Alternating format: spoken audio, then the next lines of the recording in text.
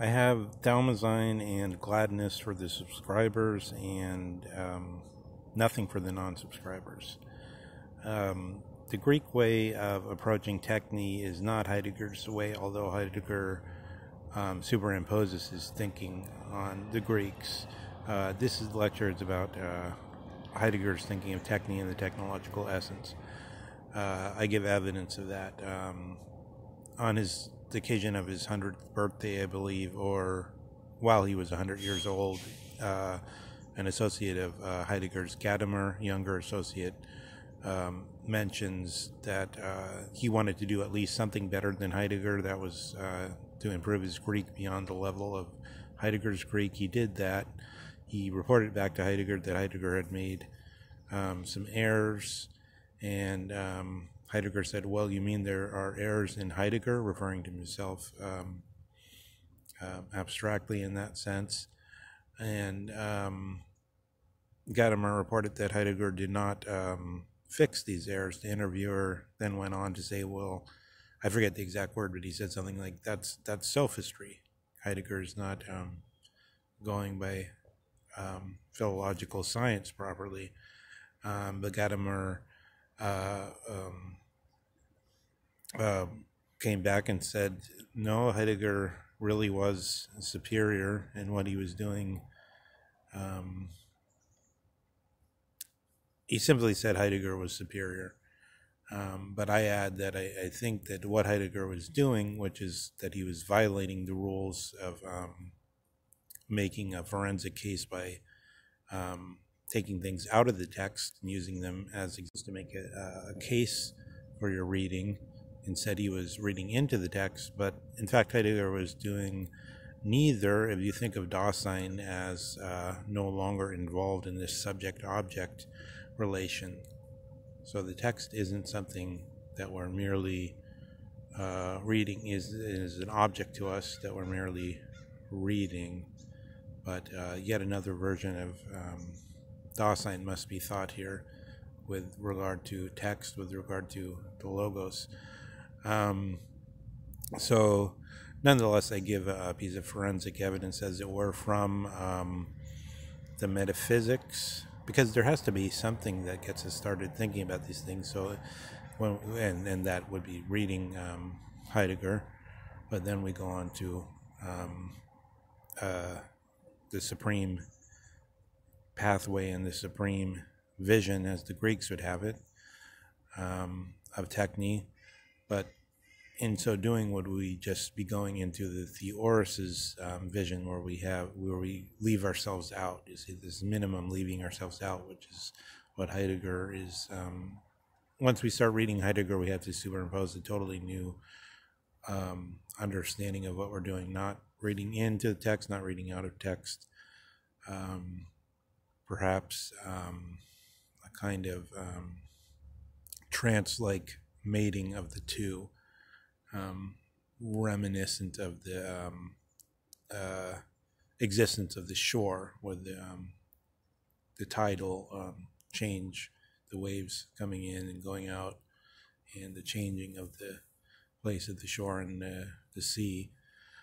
Um, something like this, uh, I believe, um, is what Heidegger sees in, in, in techne. And if you go to his metaphysics, um, sorry, if you go to his um, uh, investigation of Aristotle's Metaphysics Theta, where he's talking about um, energia or energia, meaning the actual, meaning what we can, what's right here before us, what the Greeks took as the ultimate thing, because um, again, they thought that the ultimate pathway was that of um, the highest form of practice, theory, theo- which does not mean theory as opposed to practice, but it is a form of practice. The Theoria was originally somebody who went about um, uh, looking at um, the work of um, Pythias and um, oracles and uh, religious practices, as in um, Thracian Bendis in the beginning of the um, Politeia or the uh, Plato's Commonwealth or Republic, um, seeing things as it were from the balcony, not from within the um, action on the stage. Um, and thereby the wish to come to this ultimate vision, which was not interested. In other words, um, uh, I mean, to give a, um, a, a, crude, concrete example, the, um, when the tobacco industry uh, wanted to prove that um, tobacco does not cause um, cancer, they are interested parties. When a mother uh, doesn't want to admit in a court of law that her son is a monster, that she's an interested party. Uh, the philosophers were supposed to be not interested; they were dead to the world in the sense they were had the um, ultimate vision, that of a dead person. Uh, so Heidegger has to overcome all this, and we still live in this this idea of the data, statistics, and so forth as being the real stuff, and on the other side, the anecdata, the mere um, feeling of how things are, um, mere emotion, and so forth. Um, so, with regard to techne, um, what Heidegger is saying is by techne, he does not mean technology, he does not mean uh, science, even in the current uh, dispensation of European of the um, complete idea of European science as um, that which is measurable or that which is repeatedly testable, but uh, rather, um, I could say it poetically. So, um, no, for instance, right now there's some. Um, I don't know if it's very visible in the uh, video, but there's some turkeys over here, some wild turkeys um, uh, grousing about in the dirt and uh, kicking up dirt and, and, and looking for grubs and so forth. Um, so you could say um, those are turkeys. Uh, and somebody might respond, well, that works for me. Okay, turkeys. Um, excuse me, in this sense, working for me uh, is the ergon. So Heidegger and uh, again, I point to the um, metaphysics Theta investigation of Heidegger, which is a prolonged look at the ergon understood as phusis understood as this um, trans like mating of energia on the one side, actuality, and dunamis, possibility, possibility on the other side. So, um, techne is really um, overlaid on, on the basic understanding of phusis remembering that fusus um, we can translate that nature, phusis, um, physis, physics, uh, physical.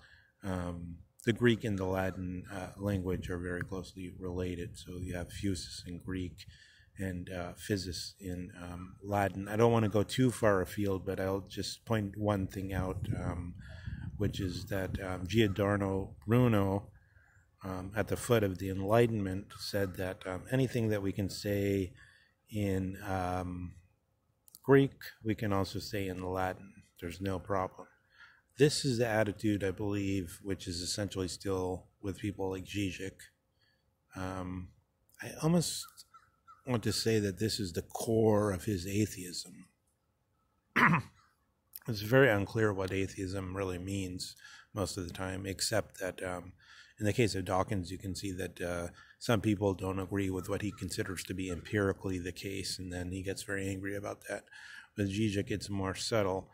But um, it seems to be really this idea that anything you can say in Greek, you can say in Latin, uh, really means that um, there's not uh, what. Um, Heidegger or Franz Boas or Dugin or myself would say that there are um, different Daseins. And um, I believe, in addition, what that means is that um, it's not what Heidegger really means by removing consciousness, which um, Hubert Dreyfus, Dreyfus had so much problem with. He kept trying to describe things as though we weren't conscious. It's rather that we still describe ourselves as conscious, but we understand what conscious means in a different way. That's what Dreyfus missed. We superimposed a new um, ergon on it.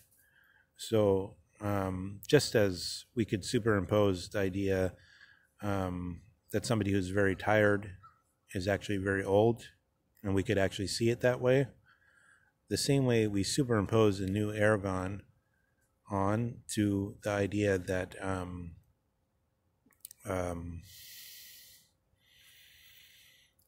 um, we don't try to explain, we don't try to describe it so that we leave out consciousness, but we understand consciousness differently. Um, John Searle criticized, I think I mentioned this early um, video, that John Searle criticized um, Hubert Dreyfus for making a description which made it sound like the human being was a um, so called philosophic zombie. And the reason why Dreyfus was driven to do that is because he didn't see that Heidegger is understanding techne in a way that it means how it works for Dasein, which isn't how it works for a subject. So um, you could even say that of a leaf. Does the, this is a leaf? Oh yeah, that's a leaf. Saying it's a leaf means the same thing as yeah, that works for me. I understand you. That's a leaf.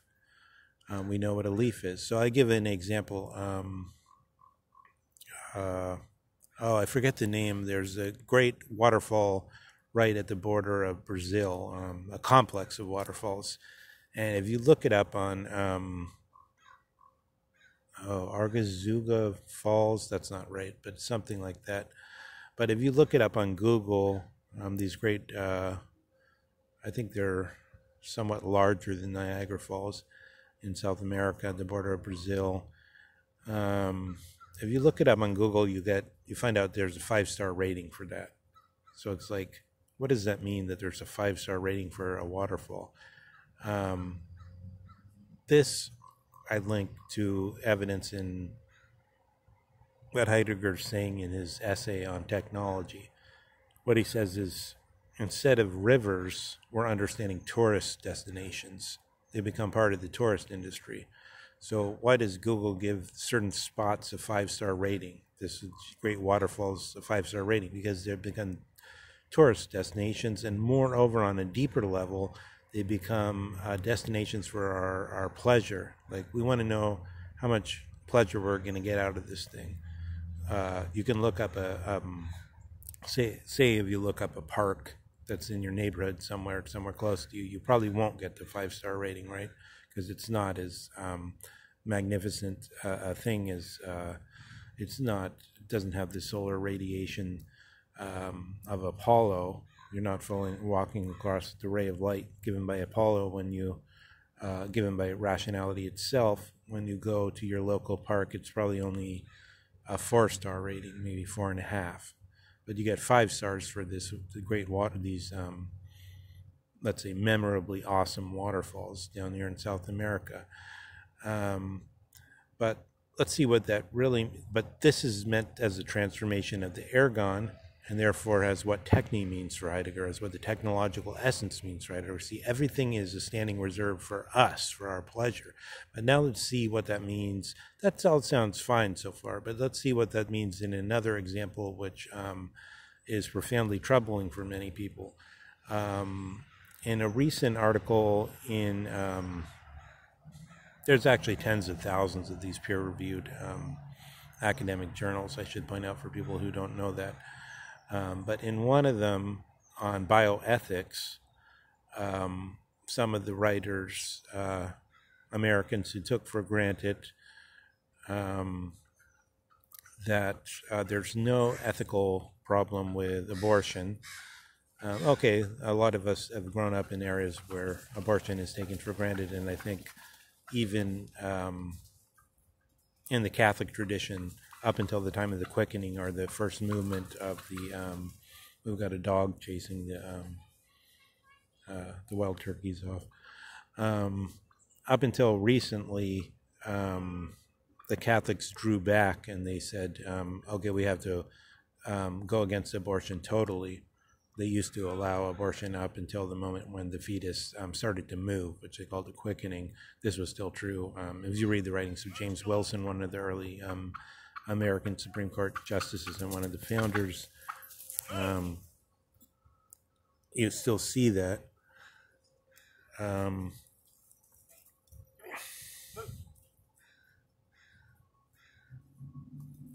so, um, but if you go further, what this article was saying was that even after birth, um, there's no, according to them, there's no rational difference between uh, what's usually called infanticide, meaning uh, killing an already born uh, infant, and abortion. But they said uh, the whole article was premised on the fact that it's irrational to make draw a distinction there, and they argued that uh, this ought to be called um, post-birth abortion because the word was um, had some bias attached to it. But okay, what's the point? The point is that um, the idea behind this is that the infant, uh, what they were really thinking of is cases of, say, an infant where you only found out that the infant had Down syndrome uh, after it was born. And then you have theorists like Peter Singer is probably the arch uh, theorist here. And what he's saying is um, it's something like with going to these waterfalls. You want a five star rating on your kid. So it's like, why should you give birth to a kid that has um, uh, Down syndrome? That's their point. So what he argues is, and if you read Peter Singer, you can see a long argument about this. Like um, the kid won't be able to. Uh, he actually gives the um, funny example of he won't be able to talk to you about a um, um, a movie at the um, the film archive with you, or um, such a child won't be able to. Um, uh, he actually gives the example of a Woody Allen movie, but this was some years ago. But um, he won't be able to do a number of things, learn um, musical instrument, etc., etc. So then the impression is that um, the infant who should now be understood not as um, murdered infanticide, but has uh, post birth um, abortion, which is meant, according to their, they take for granted, as I've mentioned, that abortion is uh, not morally um, objectionable. Um, so they just want to extend what they already have. Is like the parents should be able to um, bring uh, something into the world that they will enjoy, just like they enjoy visiting this five star um, waterfall. So I think this is what Heidegger is getting at with the ergon and with the technological essences, which things keep changing their essence. And this could be driven, and I believe this also will change the look of things, which is um, that may not make um, obvious sense, but I think if you think through the example of um, even if we were saying um, people will appear as if they're aging, couldn't we have um, imagine an existence where people look like they were aging and then they did what we call falling asleep, but they actually appeared visually like they're aging. Sometimes that actually happens. Sometimes one experiences that, but that that would be just the norm and then when people died, that would we could call that uh, going to sleep. They would appear to be going to sleep. Um, something like that is already thought anyway, but I'm saying that it would actually even appear that way to the eyes, and I don't believe that would be um, violated in any way by um, quantifiable um, science, which so much um, emphasis has been put on. I think you could still quantify it, but um, visually see it and understand it different, totally differently. Um, so in the same way, the ergon, which has, uh, which is techne really, techne is the is the knowing. Heidegger says in that um, introduction to metaphysics, techne is knowing, and knowing here means um, um, the same thing that it meant in the first instance of uh, in the Odyssey, which uh, that instance is of an uncertain date because we know when the Odyssey was written down, I think in the fourth century BC or sometimes before. No, maybe a little, maybe a hundred hundred years before Socrates was around or so. But it, when it was written down, doesn't tell us uh, about the um, troubadour or rhapsode um, um, history of the reciting and the singing of it for um, 700 or 1,000 years before that, when it actually came into uh, the poem, which is of many, many thousands of lines. And sometimes a few of those lines change, which is known through uh, studies in Albania, which are made of a, a very long lasting um, rhapsodic tradition. Um, but in any case, um, this is quite ancient. Um, uh, in Odyssey already meant energia and dunamis, the look of the thing and what the thing was to become, and between that, the ability somehow to alter it of uh, logos, I believe. So we should go further into how logos somehow intervenes, how speech, how language, how that which um, is special to Dasein somehow intervenes in that in the the in between of these um, uh, forces which are vying uh, against themselves within the cells as they gather uh, to themselves and uh, come to presence, but also withdraw.